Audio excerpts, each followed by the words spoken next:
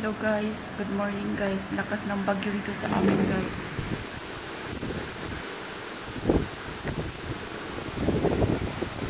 Lakas ng galaw ng mga puno. Kagabi pa nag-start, alas 10.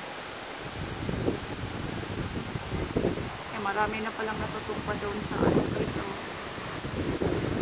malayo lang kasi ako nandito ako sa may bintana.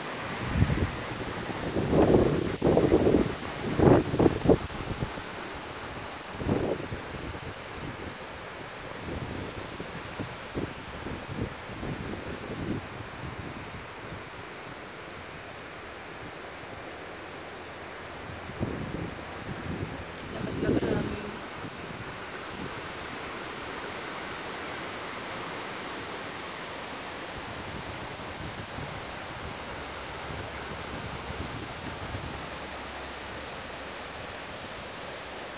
Binisan lang ako ng hangin ng ano, ng araw na yung mga pintuan.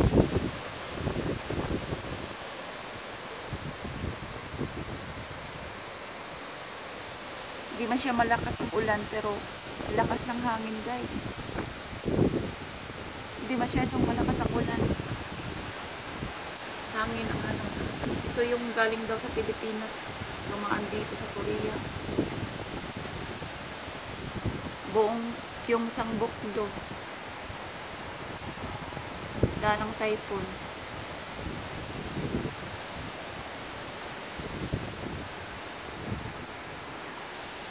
lakas ang, ang dilim di masyadong madilim yung cloud niya yung hangin lang talaga grabe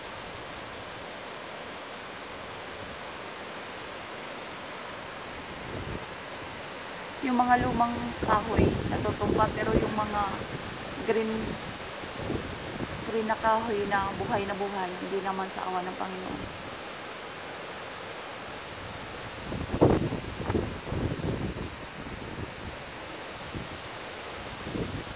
Buti na lang, nalinis na yun guys. Kasi kung hindi nalinis yan, wala. Kat, ang kataw-tap na linisin na naman ako.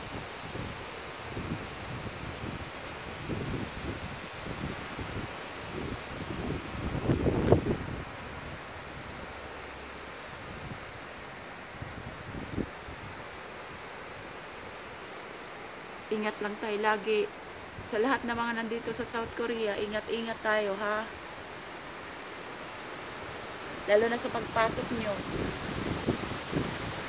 Lalo sa mga nagda-drive. Ingat-ingat. Lakas ng hangin.